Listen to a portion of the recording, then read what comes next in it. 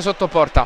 Controlla e calcia in porta direzione di De Luca Kevin Ramirez. Manca la direzione volante poi Pasculli cerca il gol porta porta e fa un grandissimo gol eh, Pasculli raddoppio del Napoli 2